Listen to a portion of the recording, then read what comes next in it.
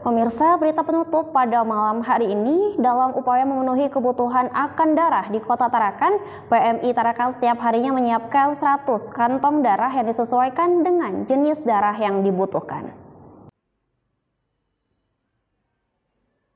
Ketua PMI Tarakan Hamid Amren menjelaskan, sejauh ini ketersediaan stok darah di PMI Tarakan dirinya nilai sangat cukup, di mana setiap harinya ada 100 kantong darah yang disiapkan dan disesuaikan dengan jenis darah yang dibutuhkan.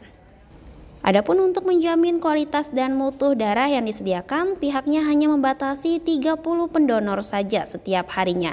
Selain menjaga mutu dan kualitas darah, pihaknya juga terus berupaya meningkatkan pelayanan donor darah di unit donor darah PMI Tarakan.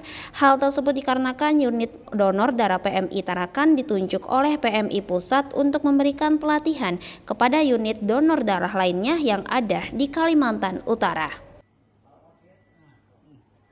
Jadi kita jaga stok itu kan untuk minimal seminggu.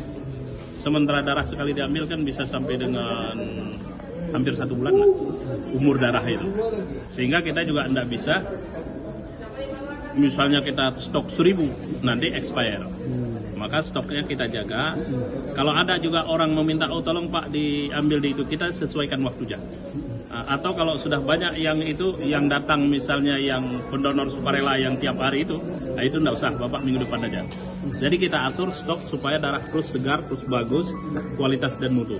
Nah, sekarang juga sedang kita lakukan pembinaan uh, juga sedang kita lakukan pembinaan uh, PM, uh, UDD PMI Tarakan sebagai UDD subregional di Kalimantan Utara, UDD Media, UDD Media di Kalimantan Eh, di Kalimantan Utara ini, maka dia diberikan kewenangan oleh UDD Pusat PMI untuk melakukan pembinaan.